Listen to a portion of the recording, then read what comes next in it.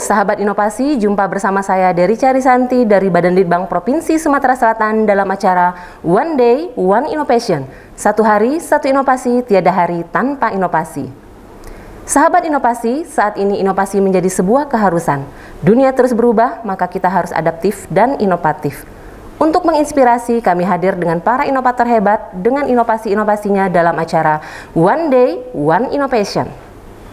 Sahabat inovasi, dalam upaya meningkatkan mutu pelayanan kesehatan tentang pentingnya memperhatikan asupan gizi yang cukup pada anak untuk mengatasi masalah stunting, maka dilakukan suatu terobosan inovasi di Puskesmas 23 Ilir, Palembang, yaitu canting beras. Baik, apa itu canting beras? Mari kita sapa tenaga kesehatan inovatif dari Puskesmas 23 Ilir, Palembang, Ibu Dr. Tria Ayu Pratiwi. Selamat datang, dokter. Terima kasih Ibu Ica. Iya, sehat Ibu? Alhamdulillah sehat. Iya, alhamdulillah. Baik, ini judul inovasinya canting beras. Iya. Uh, mengapa timbul inovasi itu bisa diceritakan sedikit, dokter? Oh baiklah, uh, saya ucapkan terima kasih kepada Ibu Ica dan Badan uh, Litbang Da sudah mengundang saya di sini dalam acara One Day One Innovation. Ya. Uh, dalam inovasi kami ini awal mulanya itu di tahun 2019, uh, di mana Palembang uh, lagi gencar-gencarnya membahas tentang stunting. Ya. Nah, stunting tersebut ini uh, kan puskesmas merupakan ujung tombak pembangunan kesehatan yeah. sehingga kami sebagai layanan primer di tingkat pertama yeah. uh, membuat uh, terobosan inovasi yaitu canting beras yang di mana singkatannya itu care stunting bersama aw awasi stunting. Yeah. Jadi uh, stunting ini kami membuat kegiatan yaitu yang pertama kegiatannya uh, memantau uh, tinggi badan, berat badan balita di posyandu. Setelah yeah. itu di posyandu juga kita lakukan sosialisasi uh, mengenai stunting tersebut yeah. kepada ibu hamil, kepada anak-anak sekolah dan dewasa remaja baik di puskesmas maupun di posyandu. Yeah. Yang lebih dominannya itu yang terobosan kami ini adalah kunjungan ke rumah. Yeah. Biasanya itu kami kunjungannya setiap satu bulan sekali. Yeah. Uh, biasanya itu pada ibu dulunya dulunya pada tahun 2019 itu awal mulanya hanya kepada balita. Yeah. Nah, setelah itu karena stunting ini bukan hanya pada saat anak usia 2 tahun tapi hmm. pada masa-masa kehamilan yaitu 1000 hari pertama kehamilan. Yeah. Itu yang dibutuhkan asupan pada nutrisi uh, gizi pada anak-anak. Yeah. Sehingga kami melibatkan juga pada ibu hamil. Maka dari itu kunjungan rumah ini hanya bukan hanya pada balita saja tapi ibu hamil. Seperti itu. Iya, kegiatannya iya. pada inovasi. Bagus sekali, Bu ya. Iya. Ini tim yang terlibat siapa saja? Kalau tim yang terlibat uh, pastinya itu yang pertama ada ada dokter, ada petugas gizi yang pastinya dan harus ada bidan karena kami juga melibatkan ibu hamil. Biasanya kan ibu hamil itu diperiksa oleh bidan terlebih dahulu. Setelah di di stressing pasien eh pasiennya hamil, kalau misalnya sudah sudah dilakukan pemeriksaan laboratorium, pemeriksaan fisik, maka akan dipanggil petugas gizinya untuk dilakukan edukasi mengenai iya. gizi pada saat kehamilan. Iya. Terus ada juga uh, promkes. Promkes itu kegiatannya itu memberikan penyuluhan stunting pada saat di posyandu maupun di puskesmas tersebut. Mungkin iya. itu saja iya. uh, bagian-bagian iya. uh, yang ikut berperan dalam inovasi ini. Iya, jadi semuanya terjun langsung. Iya. Oh, baik dokter, uh, bagaimana dampak yang timbul setelah program canting beras ini berjalan? Uh, Alhamdulillah dampaknya sangat positif dan antusias yeah. bagi masyarakat di puskes uh, di wilayah Puskesmas 23 Ilir. Biasanya itu kan uh, di Posyandu dulunya mm -hmm. itu uh, hanya 14 Posyandu yang melakukan yeah. kegiatan sosialisasi, mm -hmm. uh, pemberian ta uh, tambahan makanan pada yeah. balita. Nah, 14 Posyandu itu hanya beberapa yang aktif. Nah, semenjak dilakukan kegiatan ini, inovasi mm -hmm. ini, maka seluruh 14 Posyandu di wilayah kerja kami melakukan kegiatan tersebut tersebut iya. uh, dengan adanya penambahan tambahan makanan untuk balita, hmm. adanya vitamin A, adanya iya. zat besi, pokoknya uh, akan dilakukan sosialisasi tentang stunting sehingga posyandu hmm. akan bekerja dengan baik, hmm. terus kunjungan rumah juga dilakukan dengan baik. Iya. Jadi keunggulan program ini dibandingkan dengan program yang serupa, apakah kalau menurut kami ya. uh, untuk posyandu pasti semua puskesmas ada, uh, baik di puskesmas di wilayah Palembang maupun di luar Palembang. Tapi kalau menurut kami kunjungan rumah yang setiap bulannya itu mungkin hanya beberapa puskesmas sehingga itulah tun, uh, ujung tombak kami untuk me melakukan terobosan inovasi tersebut sehingga kita yeah. bisa menekan yang namanya penurunan stunting di wilayah kerja kami di Puskesmas 23 Ilir. Jadi langsung door to door ya? Iya, jadi jemput bola Ibu. Jemput bola ya. Hmm. Wah, bagus sekali ya.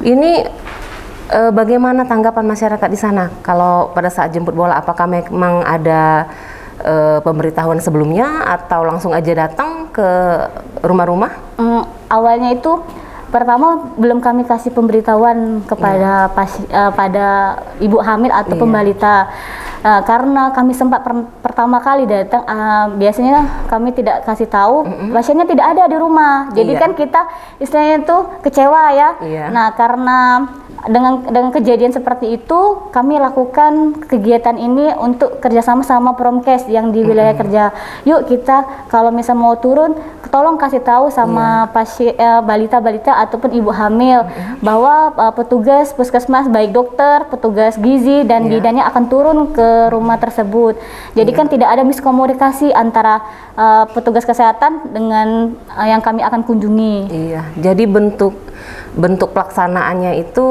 seperti apa? Apakah pada saat mengunjungi e, membawa peralatan? Karena kan memang harus ada menimbang bayi, menimbang ibu hamil seperti itu atau gimana? Kalau sebelum kita turun biasanya hmm. ada persiapan terlebih dahulu. Yang yeah. pastinya surat izin dulu, surat yeah. turun tugas yeah. dari kepala puskesmas 23 Ilir.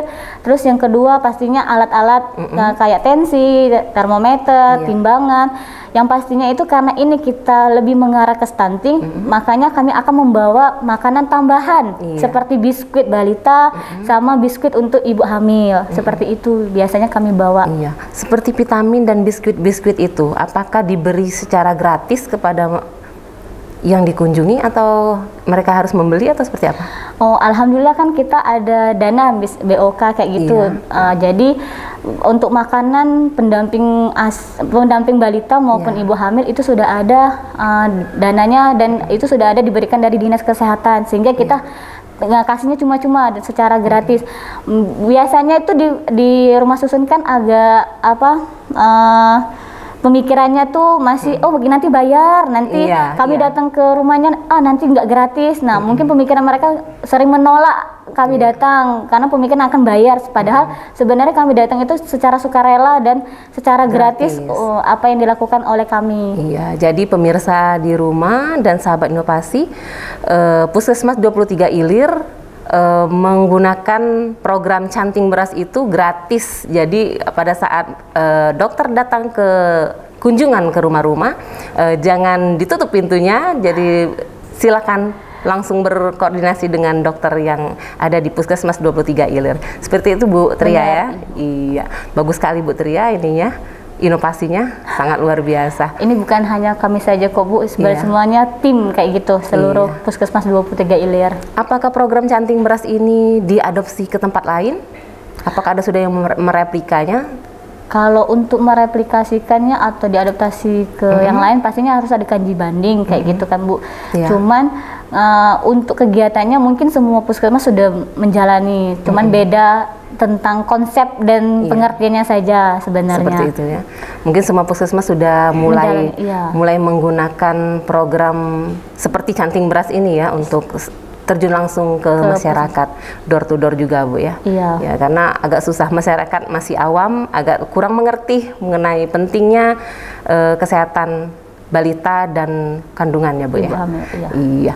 Uh, baik ibu uh, saat ini uh, apakah program canting beras ini sudah uh, relevan dilaksanakan? Maksudnya uh, sudah ada lembaga yang uh, mensurvei secara baik itu internal ataupun eksternal seperti itu, seperti uh, APPI itu ya?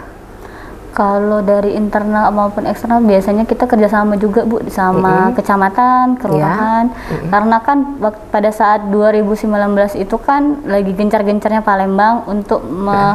mengenai stunting. Mm -hmm. Maka kalau kita hanya kerjasama untuk tenaga kesehatan mm -hmm. tidak akan mungkin karena mm -hmm. kan masyarakat harus ada uh, istilahnya itu tokoh yang harus diayomi Iya, sehingga kami betul. harus kerjasama juga sama kecamatan yang lain-lainnya. Iya, jadi banyak yang harus diikut sertakan dalam, Iya, dalam program, program. ini ya, dokter. Baik dokter, eh, selama menjalankan program canting beras ini apakah terkendala atau ada hambatan? Kalau untuk tergen ketergendalanya itu untuk tim kami di Puskesmas 23 Ilir uh, tidak Ya. ada hambatan, hanya masyarakat saja yang masih belum memahami apa sih kegiatan kami lakukan uh, secanting beras ini. Iya. Karena masyarakat masih uh, berpikiran uh, kalau ada orang yang datang itu akan bayar, kalau Iya. ada orang yang datang ke rumah itu pasti akan menanyakan hal sesuatu yang membuat dia agak risih kayak Mm, gitu. tidak nyaman gitu ya? Tidak nyaman. Iya. Jadi kalau hambatannya sih uh, pemikiran masyarakat yang masih kurang memahami tentang kegiatan kami ini sebenarnya. Iya. Mungkin perlu dilakukan Sosialisasi, sosialisasi, Bu, benar. ya. Eh, mungkin dalam bentuk brosur atau ya leaflet-leaflet yang disebarkan ke rumah-rumah penduduk seperti Ah, itu. Tapi karena pandemi kemarin kan agak tes- uh, stagnan kayak gitu Iya. kegiatan ini. Cuman karena kita punya inovasi yang lain, kayak nanti kan sebelumnya nanti ada telekomunikasi seperti itu. Iya. Jadi biasanya kami eh, akan join sama uh, apa Promkes uh, untuk ayo siapa yang punya nomor HP ibu Iya. hamil yang punya balita, jadi kita Iya. bisa join di grup kayak gitu. Iya, Bu. mungkin masuk dalam grup kan pada Ah. saat eh, program itu akan berjalan eh, bisa di Dikasih tahu. eh, pemberitahuannya melalui WA grup gitu. WA grup. Dokter. Jadi mereka tidak susah mengambil makanan pendampingnya. Iya, betul sekali. Iya. Luar biasa inovasinya, dokter. Oke, selanjutnya apa sih harapan ke depannya untuk program canting beras ini? Harapannya yang pastinya kami berharap uh, masyarakat di sekitar wilayah Puskesmas 23 Ilir baik uh, di rumah susun maupun uh, di hak layak untuk me- memberi asupan gizi bagi anak-anaknya sedini mungkin. Sebaiknya pada saat ham- kehamilan uh, di semester pertama Nah, dari satu dari semi- dari 0 sampai 9 bulan uh, itu kan sangat penting 1000 hari pertama kehamilan. Iya, betul Nah, sekali. pada saat itulah kami berharap ibu eh, ini khususnya ibu-ibu untuk eh, mengatur dan memberikan asupan nutrisi yang lebih baik lagi Iya. sehingga memberikan eh, masa depan anak-anak yang lebih cerdas, inovasi dan yang pastinya membuat negara Indonesia ini jadi lebih baik lagi. Wah, luar biasa. Bagus sekali inovasinya, Dokter Tria. Baik, Ibu, terima Iya, kasih. sangat menginspirasi pemirsa di rumah dan kami tunggu inovasi-inovasi selanjutnya ya, Dokter. Iya, dengan terobosan-terobosan yang terbarunya lagi. Baik, terima kasih atas kehadirannya di podcast kami, Dokter. Tria. Eh, semoga menginspirasi pemirsa di rumah dan kami tunggu inovasi-inovasi selanjutnya dan terobosan-terobosan terbarunya lagi.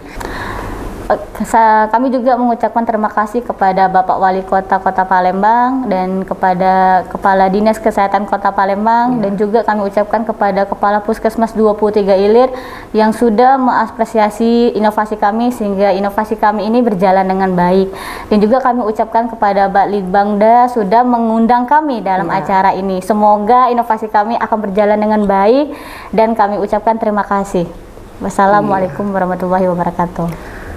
Baik pemirsa, dengan adanya inovasi canting beras, Care Stunting bersama Atasi Stunting di Puskesmas 23 Ilir Palembang, yaitu adanya peningkatan kesadaran ibu tentang pentingnya memperhatikan gizi untuk tumbuh kembang anak yang dimulai sejak dalam kandungan, sehingga perkembangan calon bayi pun dapat terpantau dengan baik dan dengan terbentuknya anak yang ideal dan bebas stunting, maka tingkat percaya diri anak akan meningkat. Baik pemirsa, kita masih punya jurus 4S. Setiap orang adalah inovator. Setiap masalah peluang inovasi. Setiap solusi harus sinergi dan setiap inovasi harus konkret hasilnya. Demikian pemirsa, salam inovasi.